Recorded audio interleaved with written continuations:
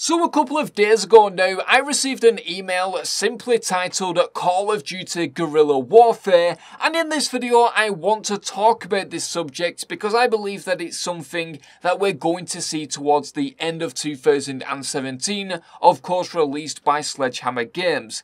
Now, I'm not going to use this email as evidence to support a potential leak or anything like that. I don't really know the credibility of the source, so I'm not going to quote it in this video, I want to maintain my credibility. Of course, if this does come true at a later date, I'll use this source in future. I'll try and get some more information for you guys.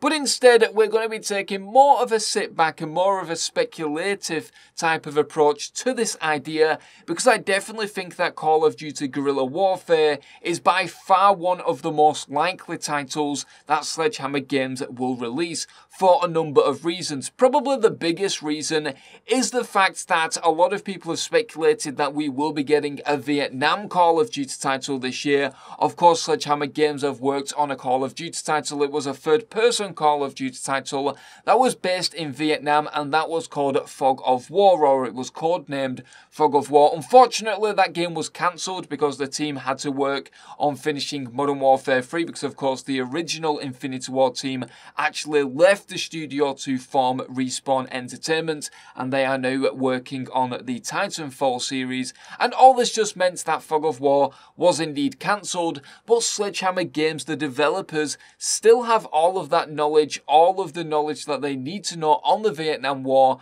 in their computers, in their minds, and I think that this is something that they're going to use moving forward with their title, of course, released in 2017. Now, in terms of guerrilla warfare, this is by far one of the biggest points for me, and it's the fact that it ties in very nicely with the theme, with the branding that a lot of Call of Duty titles currently have. Of course, we've got Modern Warfare, that is a trilogy that has sold tremendously well. Then we've got Advanced Warfare, and then we've also got Infinite Warfare. Now, apart from Treyarch Games, this is branding we've seen from Sledgehammer Games and Infinity Ward, and all of this is in plan with Activision's marketing for Call of Duty titles. Now, I believe that you know, the developers have probably pitched the ideas for the actual names of the Call of Duty titles, but it's ultimately down to Activision on what they want to call it, what they want to market it as, and I think that Call of Duty Guerrilla Warfare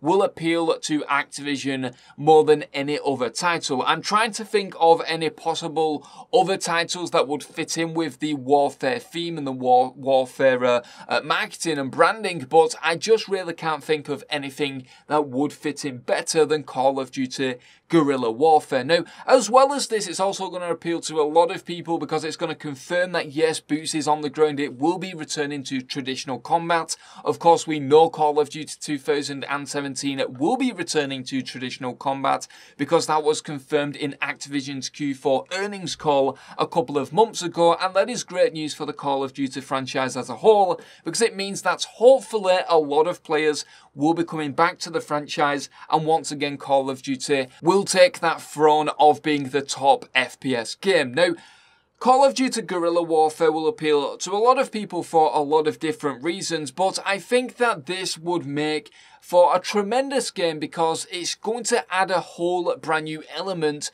to a Call of Duty title. Guerrilla Warfare is it's gritty, it's dirty, it's um, very, very, I would say, hardcore in the sense that people will do whatever they can in order to kill or slow down enemy forces. And we've seen this within the Vietnam War. This all ties in very perfectly together because guerrilla warfare played a massive role within the Vietnam War because, of course, the Viet Cong used things such as booby traps, landmines, anything you can think of in order to slow and kill off enemy forces. And it's been very well documented in history that uh, the Viet Cong used a lot of animal traps that were supersized in order to slow down uh, American forces. And interestingly, what these traps were designed for is that they was not designed to actually kill enemy forces, but in fact they was uh, uh, designed to slow down enemies by injuring them. They covered the traps in feces. Uh, there was a lot of uh, spikes and stuff like that covered in feces.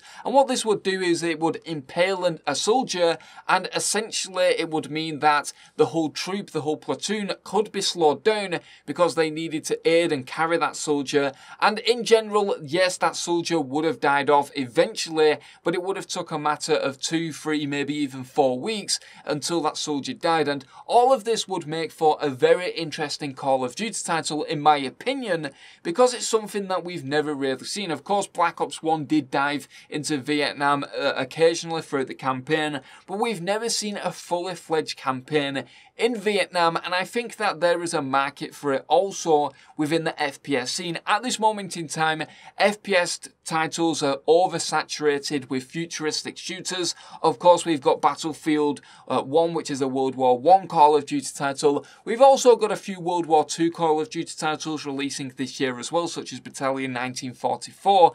And I think that Call of Duty can find a very interesting niche within the market at the moment by releasing a Vietnam title because I think there is only one Vietnam title releasing this year and it's not going to be a big contender to go up against Call of Duty and you know Activision will know these kinds of things with marketing with future titles of other companies and stuff like that. So I think that overall this is something that is probably the most likely title to release Call of Duty Guerrilla Warfare. It all ties in nicely with the Vietnam War stuff. Of course, Sledgehammer Games have researched that war pretty extensively because by the time Fog of War was cancelled, there was already 15 minutes of full gameplay. Now, I'm not entirely sure on the development process of games, but I would imagine that this did take a lot of time and a lot of research, and it would indicate that the game was possibly quite well in its development stages. But anyway, guys, let me know down in the comment section below what you guys think. Of course, do not take this as a leaked video. Take it as more speculation. If this does end up being true, then, well, I will use this source moving forward throughout the release or throughout the, the year until the release of Call of Duty 2017, hopefully titled Call of Duty Guerrilla Warfare. But anyway, guys, that has been much it from me. I belong to Session. Thank you very much for watching, and I'll see you guys in the next video.